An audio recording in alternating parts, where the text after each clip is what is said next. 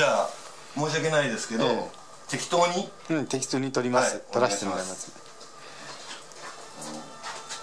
まだ開店したばっかりなんですよね。そうなんですよ、なんで、実はあの私開店する前にえあのあえっとねまずね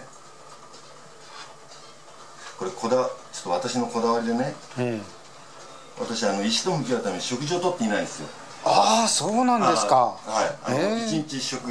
え一一日一食ですか？はいなんですよね。それいつ取るんですか？食事。あ終わってからですね。であの渋谷の時、ええ。週1回3年ほどやらせてもらってた時は、ええ。2日前の晩から食事の制限をして当日は食事を取らないっていうふうにはあしていて。で、まあえここオープンして、まあ、5年。で最初ここオープンした当初は私の食事管理が一番のネックでしたで、えー昼間おにぎり1個2個を食べてやってみたんですけど、どうも私私のその感性のスイッチが入るんだけど入りづらいっていう、まあ、現実にぶつかってあもうこれは違うなと思ってもうやめた方がいいなと思ってまあそれで1日1食になってあ一一日一食ですか今。はい。ああ我慢できないよ僕なんか。今日もね食事をしながらあのするためにはい。ちょっと国立へ来たんですよ、はい。中華屋さんに来て行こうかなと思って。うんうんうん。えーご主人はあれですかあのね石を見るその、えーい対する石に対する気持ちが全然違いますよね僕らとね、えーえー今もちょっとお話ししてたけど、えーこの子たちはっていうね言い方ですよね。あの僕らがあの、はい。僕犬飼ってたんですけれどもやっぱりこの犬じゃなくてこの子なんですよね。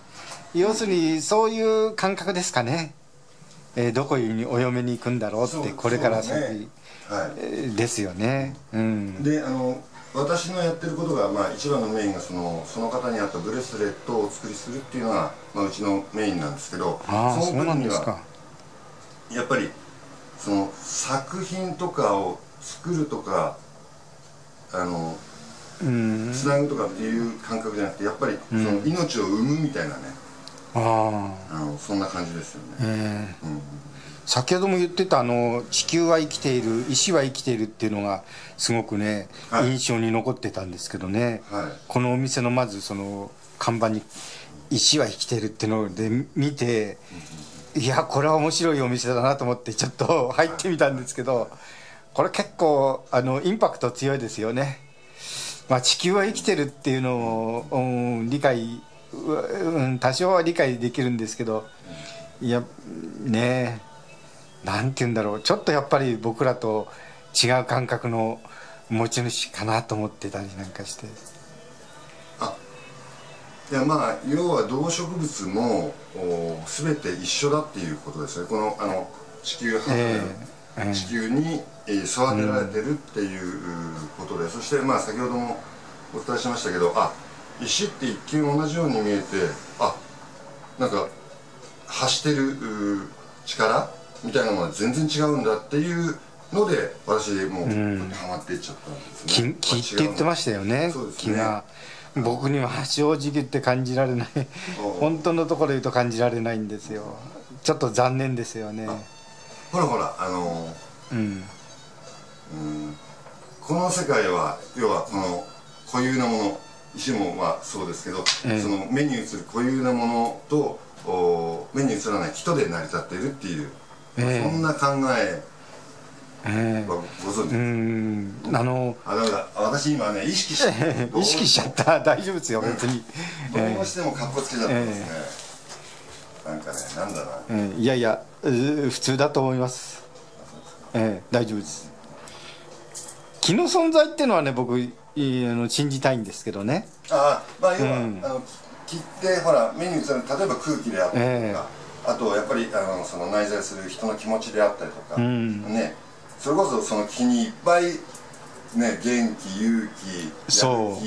必ず気が入るんですよね、そういう元気とか勇気とか病気とかね、うんうんだから気があるんだろうなっていうのはなんとなくわかるんですけど、その気を感じないっていうのが自分の、あの考え考えっていうかあの気持ちで、うんうん感じたことはないんですけどあるんだなっていうのがわかるんですね。おー。えでもも単純にですよ、ええ。単純にあこの人とは気が合うなとか。えー気が合うなっていうこのはの人とはちょっと気が合わないいななとか。ありますねそれは。ねあります。あのそれは完全に目に映ってないですよね。目に映ってないけど存在してます。存在してるんですよね。だから気が、う。ん、多分僕はご主人と気が合いますね。合いそうなそんな雰囲気はしませんか？お互いに。うん。なんかあのいや運命っていうと大げさだな。ん。なんか私の心理状態がそういうふうなあの考えの、おーが移行したことでこういう時間がある、そうですね。っていうことがまあ今正直ちょっと不思議に、たまたま僕もね中華屋さんに行く途中のこの道ではい。えずっと通り過ごしてきてそのこのお店に来た途端になんか入りたくなっちゃったっていうね。なんかすごい 運命っていうんじゃないんでしょうけどね。なんかその、えー出会いを感じますよね、ええ。まあその石石って言っていいのかな？なんかすごい綺麗なね石がいっぱいなんですけど。うんこれはあれですか？そのどこかでこういう取引があるんですか？あそうですね。うん。はい。なんでまああのあだからそれにも自分がまあな納得してっていうか納得してちゃんと相対できた子じゃないとうちには来られないです来られない。あでじゃあ。ただ基本は、私が石を選んでるんじゃなくて、まあ、石に選ばれてるみたいな。あそんな感覚ですかね、それで先ほど言ってたのがあのそのあの買いに来たお客さんに何か売りたくなくなっちゃうっていうあの要するに、ねの丹精込めたあの娘をなんか嫁にやりたくないっていう感覚のなんか感覚と似てるのかなと思ってるんですけどね、そうですね、うんい売りたくないって思っちゃうんですかね、で、あの馴染みのあの以前に馴染みのお客様にはね、ん。えーすいません1週間待ってくれっていうふうに言った時もありましたいねやあ待ってくれって、はいはい。そうするおお渡しするの、うん。えあー。要するにちゃんとあのけじめるからと。ああなるほど。ああっていう時もありましたし。やっぱりこだわりがあるんですね。愛情を持ってるってことですね。そうですね。あの、ええこれ、うん。これは手前味噌なんですけど、ね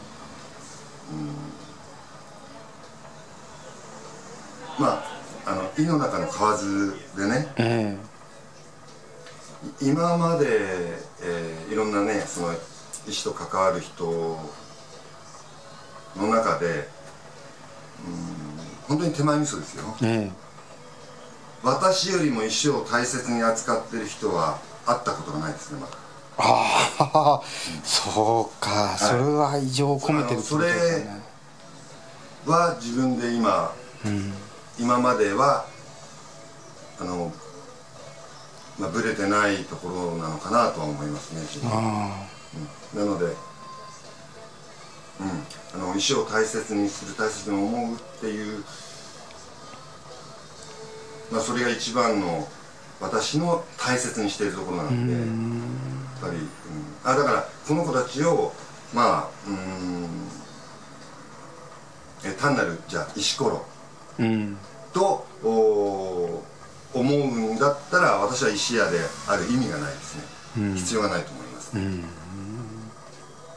ただただまあそれがちょっとねあの愛情がい行き過ぎてちょっと、っうん。ていうのはありますけどね、これがまた矛盾してるところですね。僕は入る入ってくる時にね、はい。その中の石のことを考えて見たんですけど、うん、もっとなんていうのうんなんていうんですかねあの河原とかにあるようなあんな石のなんかちょっと変わった形のものが置いてあるのかなと思ったんですよ、えーそしたらなんかこの立派ななんていうんですかこういうのね。水晶ですね。え水晶。水晶群え特攻と言いますけど。えー。こういうのが置いてあってちょっとびっくりしました。結構ね石であの石を愛する人はいますよね。河原で僕の近くに河原があるんですけど、はい。河原でしょっちゅう石を探してる歩いてる、えー人もね結構い,、いるんですよ。多分いい石に出会えるために一生懸命河原歩いて、えー石を拾ったりなんかしてあダメだこれダメだなんていうような感じでやってる人がいますので、まあそういう人も石を愛してるのかななんて思ってるんですけどね。あのそうですね、あの石まあ一口に石といってもね、いっぱい、えーもうさまざまだと思いますし、ええ。そしてまたその、えー人たちのお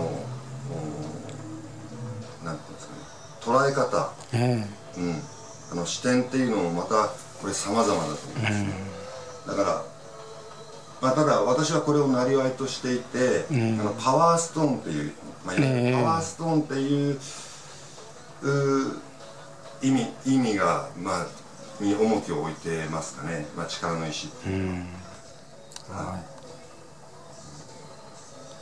ありがとうございました。すいません。